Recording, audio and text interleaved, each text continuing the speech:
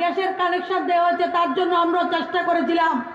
কিন্তু আপনাদের সরকার, আপনারা তিন তারিখ মার্চ মাসে সরকার এনেছেন নয় তারিখ সে সরকার শপথ দিয়েছে আজকে পর্যন্ত ত্রিপুরা রাজ্যে দুই লক্ষ দুই লক্ষ কুড়ি হাজারের মতো গ্যাসের কানেকশন দেওয়া হয়েছে। আমাদের সরকার আপনাদের মুখ্যমন্ত্রী, আমাদের মুখ্যমন্ত্রী, উনি সিদ্ধান্ত নিয়েছেন, লোকসভা নির্বাচনের পূর্বে ফেব্রুয়ারি মাসের আঠাশ তারিখের মধ্যে ত্রিপুরা রাজ্যে উনি চার লক্ষ গ্যাসের কানেকশন সম্পূর্ণ করতে চান। আরও প্রায় যে দেড় লক্ষের উপরে গ্যাসের কানেকশন যারা গরিব রয়েছেন, যাদের বিপিএল কার্ড নেই, মায়েরা এপিএল কিন্তু তারা গ্যাসের কানেকশনের পাওয়ার যোগ্যতা রয়েছে।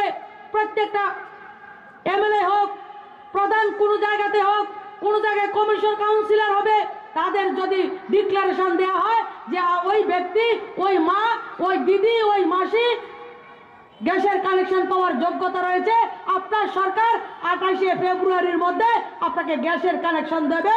সেই সরকার হচ্ছে আপনাদের রাজ্যের সরকার। সেই কাজটা করছে। গতকালকের বাজেটে লক্ষ্য করে গেছে, যারা চাকরি করে পেনশন পেতেন যাদের কাছে সামান্য টাকা রয়েছে, ব্যাংকে টাকা জমা দিতেন জায়গা বিক্রি করতেন, সে বয়স্ক যারা রয়েছে, বিভিন্ন ব্যবসায়ী ব্যাংকে টাকা জমা রাখেন, তাদের দশ হাজার টাকার উপরে যদি ইন্টারেস্ট হতো, সেই ইন্টারেস্টের উপরের পর্যন্ত ট্যাক্স দিতে হতো। গতকালকে প্রধানমন্ত্রী চল্লিশ হাজার টাকা পর্যন্ত যারা ব্যাংকে ইন্টারেস্ট পাবেন, তাদের ট্যাক্সটা মুকুব করে দিয়েছেন। আমরা এতদিন কি ছিলাম? কি স্বপ্ন দেখতাম আমরা? এই জায়গাতে যারা ছিল, আছি, আমরা একটা স্বপ্ন দেখতাম। বিগত সরকার আমাদের কি স্বপ্ন দেখাতো? আমাদের একটাই কাজ, আমরা যদি একটা ভাতা পাই,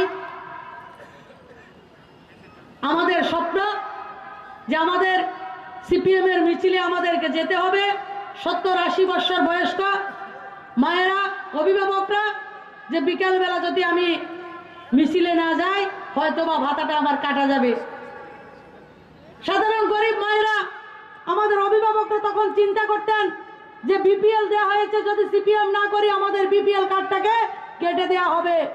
গ্রামে ছিল রেগা, আপনাদের শহরে হচ্ছে টু এফ মনে হয় বিপিএল কার্ডটা মনে হচ্ছে একটা চাকরির অফার।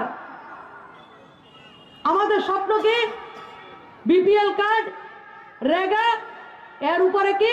ভাতা। যদি কোনো একটা চাকরি পাওয়া যায়, বেতন যতই হোক, সেটা থাকবে কি থাকবে না, তাও কিন্তু নিশ্চয়তা নেই।